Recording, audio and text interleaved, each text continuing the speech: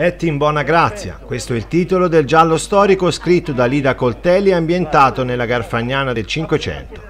La storia è avvincente. Il commissario estense Ludovico Ariosto, dopo un estenuante viaggio, arriva a Castelnuovo Garfagnana e si trova costretto, fin da subito, a districarsi tra i complicati equilibri di una terra di difficile governo, selvaggia e infestata dai briganti. A pochi giorni dal suo arrivo, un orafo viene trovato impiccato, suicidio o delitto.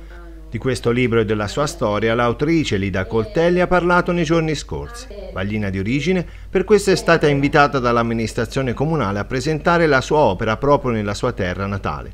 A rendere il tutto più suggestivo la partecipazione della compagnia teatrale Il Circo e la Luna e quella del mangiante Mariano Coltelli. Tutto sotto la conduzione della serata che è stata affidata all'editore Andrea Giannasi. In questo libro eh, Ludovico Ariosto ha il ruolo del commissario, ha il ruolo del commissario che eh, indaga, che indaga con l'aiuto del Baricello che era l'ufficiale dell'epoca e eh, indaga sul, in questo caso, il suo primo omicidio, ma ce ne saranno altri.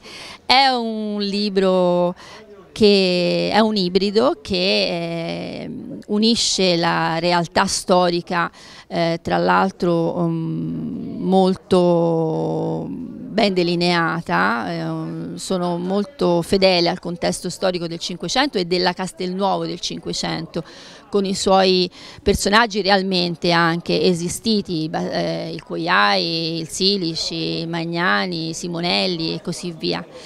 E, ehm, però eh, c'è anche la fantasia e quindi è un, un giallo, un vero e proprio giallo.